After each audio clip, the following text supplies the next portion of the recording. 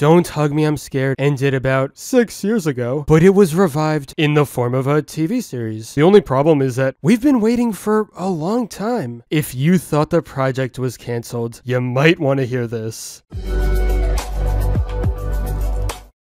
Co-creator Becky Sloan's Instagram page reveals a few surprising updates about Don't Hug Me I'm Scared the TV series. A few months ago, she mentioned that filming was finally done. Very recently though, we have something new. Hello! Just recording final sound for the new series. Six big, big brand new episodes of Don't Hug Me in the Can. Hey! Can't wait for you to see. Will the Pirate King find the twin goblins? All will be revealed. Release date to be confirmed. Along with that tease, she posted this video of what's actually happening behind the scenes.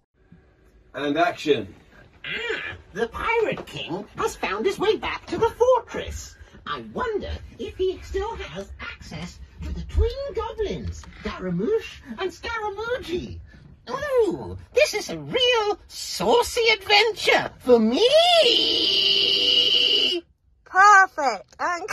So we're getting an episode about the Pirate King, eh? You've got my attention. Becky also revealed that six episodes are finished, which I assume is all we're getting for now, even if that may not seem like much. Remember that Don't Hug Me I'm Scared was designed to be a short form series. The TV episodes will be longer, but I don't think it would feel right if we got a massive lineup of stories. At that point, the concept would get old and predictable. This show works in smaller doses, and I'm completely fine with six episodes. Unfortunately, we still don't have a release date. Now, because production is mostly over and they're putting in the final touches now, I think a safe guess would be second half of 2022. Waiting is rough, but that also means a better end result. Probably. So at the end of the day, don't worry about the show being cancelled or anything like that. Just sit back and be a little more patient.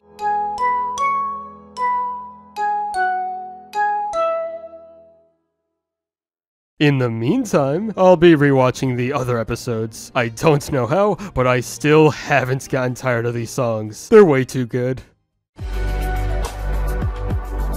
But anyway, that's all for this video. Subscribe for more awesome cartoon videos. Give a thumbs up and comment below let me know what you think. Thanks for watching, and I'll see you guys next time.